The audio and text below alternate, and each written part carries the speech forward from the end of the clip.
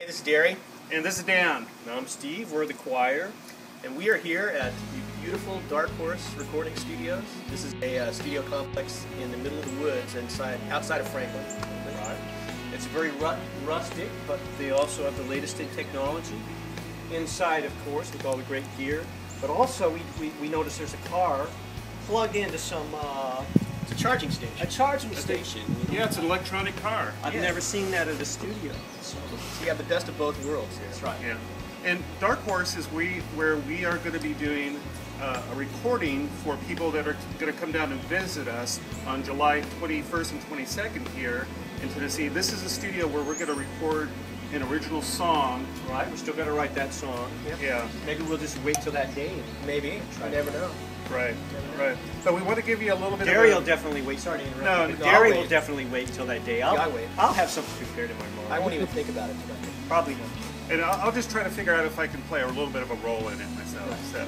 Uh, but we're going to take a video tour of Dark Horse Studios so you can kind of get a little bit of a glimpse for you that are coming or some of you that still want to come and spend some time with us at Yeah. the uh, studio. Now keep it rolling. I want to point something out. One of my favorite things about the studio.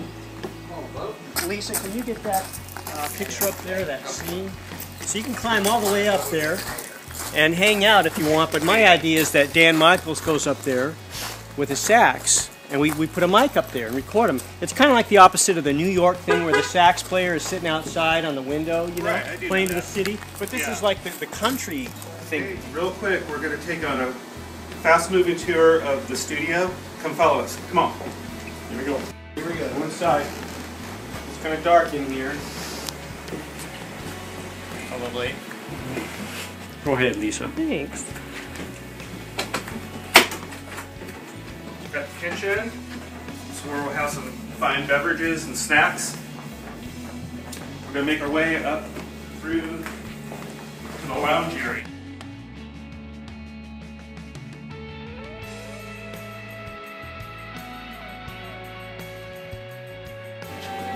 Now we know there's going to be a lot of people here, but we're just trying to let you know there's plenty of room to hang out and relax. Play some checkers up here. I'll probably be laying on this couch at some point, like trying to think of the, the second verse, you know. Right. Maybe maybe a couple of you guys can sit on the table and like kind of like we can bounce off ideas. Place is that the owner built hand was involved with hand building a lot of this himself. He did a lot of the work himself. So And we actually just talked to the owner a few minutes ago, and he said that Matchbox 20 was recorded here for four months last year. So a lot of groups come up here and play. so this is a nice place to come up and reflect. It's kind of high up. And, hey. Maybe we should like try to get the song in the key of this wind time. And we can, and the interesting thing is that Steve will have uh, the engineer out here with a microphone doing something before the, the time is over. I did on Flap Your Wings. We did mix Flap Your Wings here. And after mixing all night long, Julian was mixing. Mm-hmm. I did have him put a microphone out each end of the studio and record the birds in stereo. And you mm-hmm. hear them while my 10 year old daughter Emily was playing the trumpet. right. The bird song. That's right. So yeah, that kind something like that probably will That will happen. happen. Something will happen like that.